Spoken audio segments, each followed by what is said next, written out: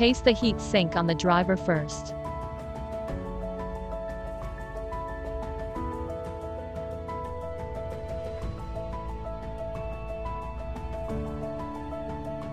Be careful not to touch the heat sink to the solder joints on both sides of the driver to avoid short circuit. Pull up the cable of switch and the cable of board power. Make subsequent wiring cleaner. First, plug the 3-pin cable with a P-label from the power supply box into the power management interface on the lower right corner of the board.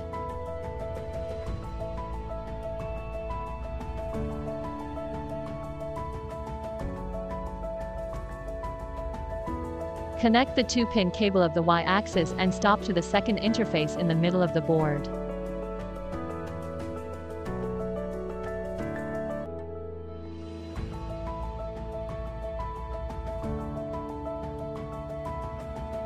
Use 4-pin cable with a Z label to connect the Z-axis motor to the Z motor interface of the board.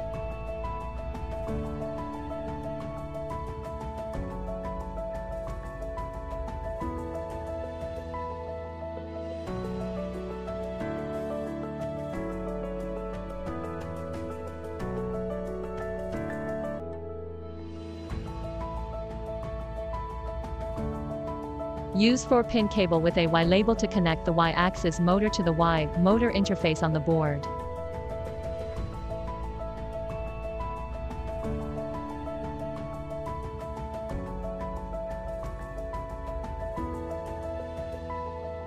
Finally, use the 3-pin cable with a Z label to connect the optical end stop to the third interface in the middle of the board.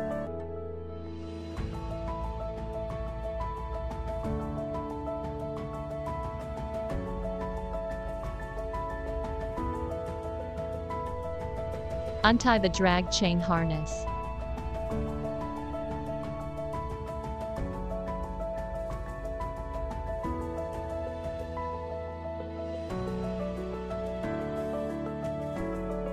Pick out separate red and black cables. Pass behind the Z-axis profile. Connect it to the blue, hot end 0 interface on the board.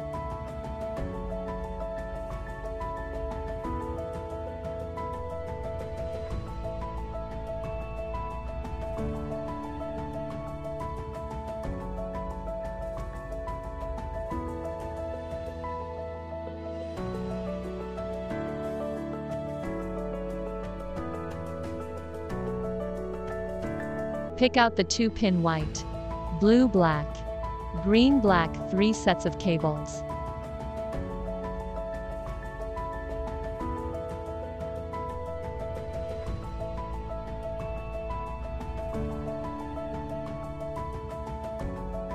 Plug the white cable into the hot end 0 sensor interface on the board.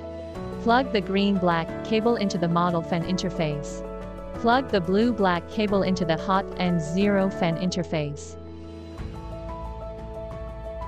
Tile the cables in this row below the board with ties and sort them out.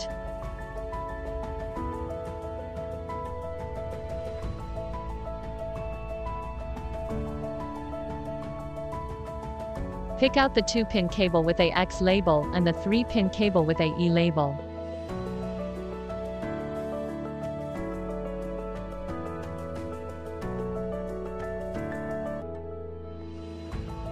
Plug the 3-pin cable with a E label into the fourth interface in the middle of the board. Plug the 2-pin cable with a X label into the first interface in the middle of the board.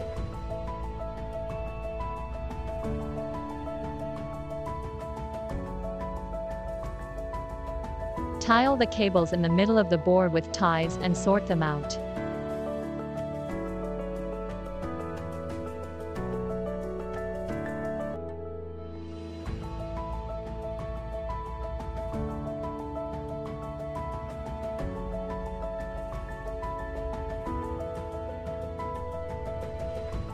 Connect the remaining 4-pin cable with a X label to the X motor interface on the top of the board. Connect the 4-pin cable with a E label to the E motor interface on the top of the board.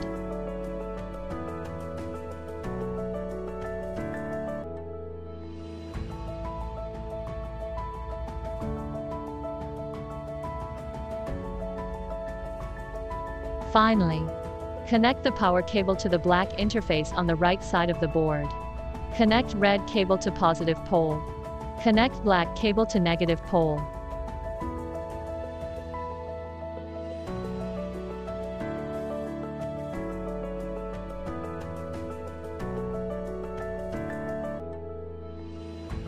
So far we have completed 90% of the wiring on the board. Next, you need to organize the cables. The switch cables is recommended to pass through from the bottom. In this way, other cables can be used to press the switch cables to avoid cable swelling.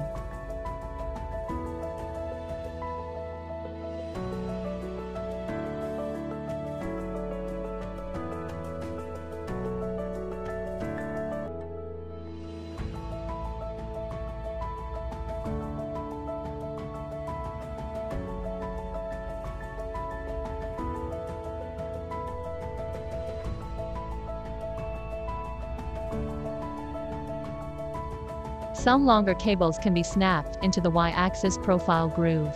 Make good use of ties to reduce the difficulty of organizing cables.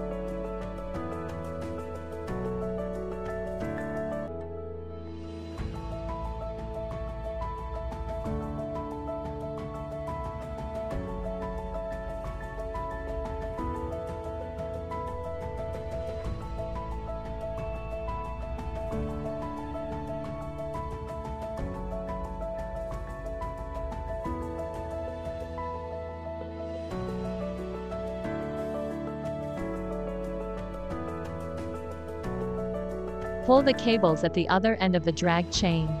Adjust the length. Note that when pulling the cable, you should hold the cables instead of the terminals.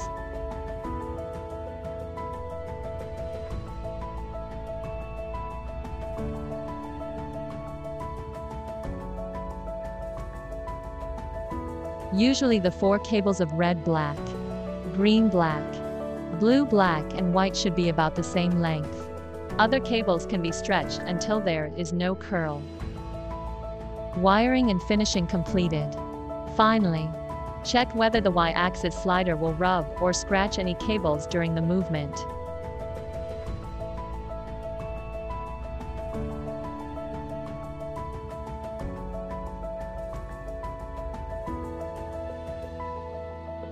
Perfect.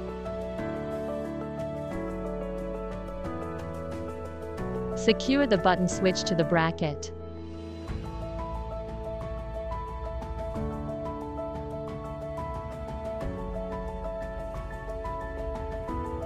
Adjust the indicator light on the button switch.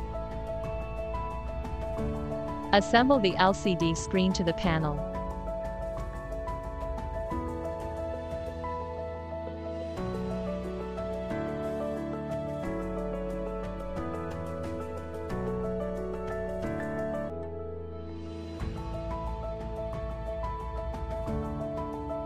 Plug in the knob cap. Installing the cooling fan and air duct of the board. Note the position of the fan cable.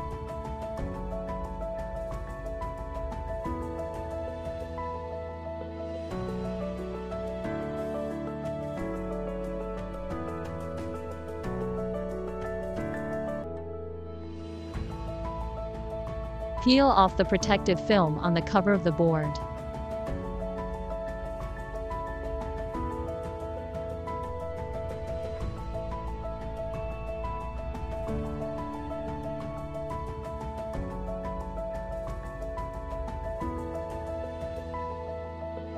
Install the cooling fan on the cover of the board.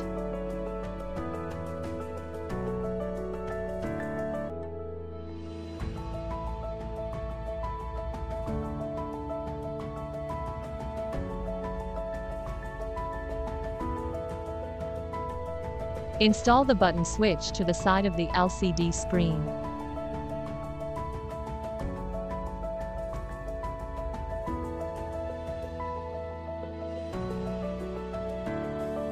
Lift up the FPC cable interface. Be careful not to lift too hard. Avoid damaging the interface. Insert the FPC cable. Cover the interface. Make sure the cable connection is stable.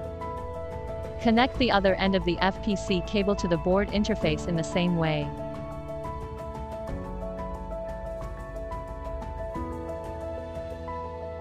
Plug the cables into the switch.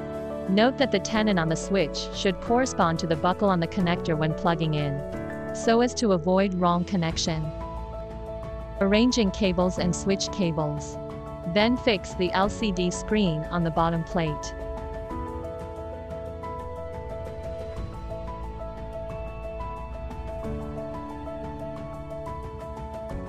Connect the cooling fan into the interface on the upper right corner of the board.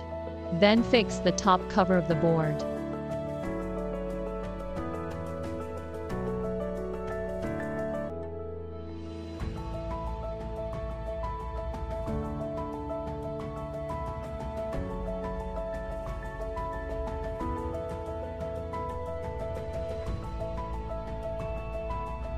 Fix the Y-axis drag chain to the Y-axis slider.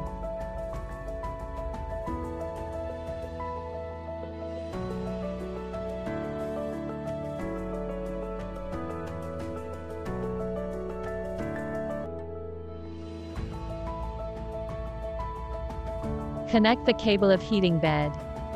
The red and black cables here do not need to distinguish between positive and negative, and can be connected freely.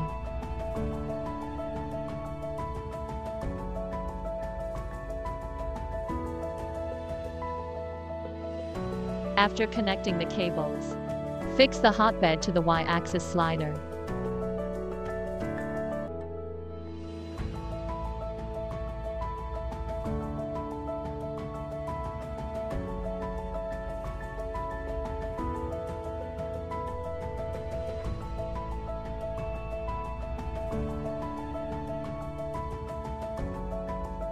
Check and adjust the cable of hotbed. Avoid cables rubbing against profiles during Y-axis movement. Put it on the pay printing platform. Perfect.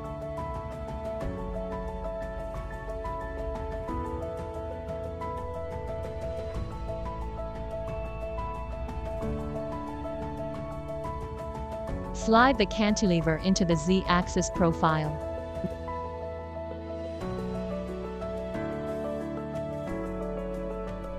Rotate eccentric nut. Turn the red marked line on the eccentric nut towards the profile. Adjust the engagement of the Z-axis slider. Rotate the eccentric nut a few times at a small angle. And check whether there is still shaking between the Z-axis slider and the profile.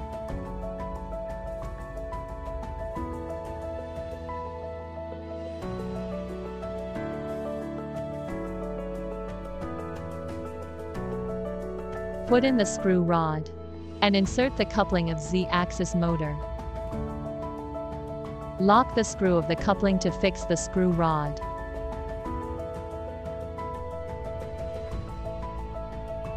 Hold the position of the eccentric nut. Then tighten the screws of pulleys.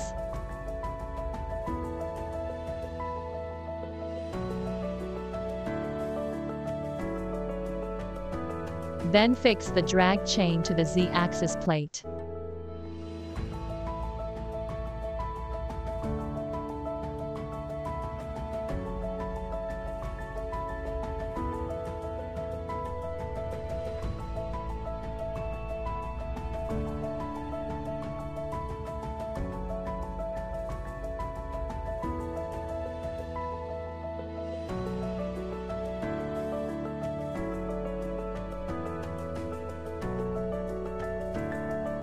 Pass the 3-pin cable with a E label through the triangular hole of the Z-axis plate. Plug it into the interface under the extruder.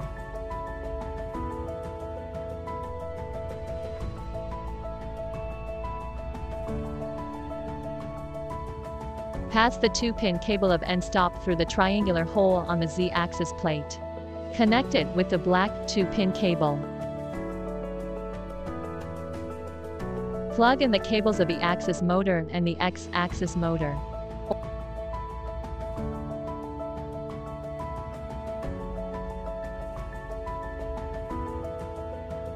Organize the cables.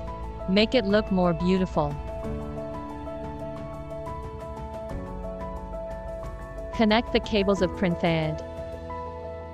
Connect the white cable with black strips to the red-black cable.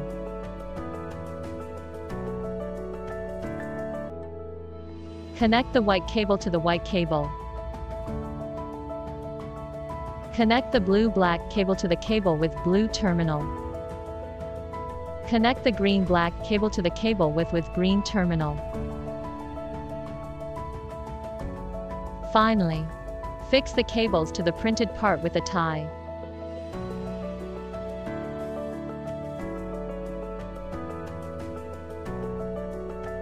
Organize the cables and connectors. Make it look more beautiful.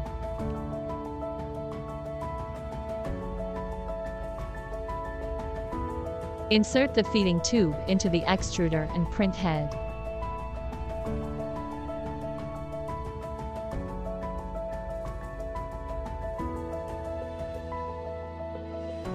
Finally, install the handle on the top of the Z-axis profile. And you are done.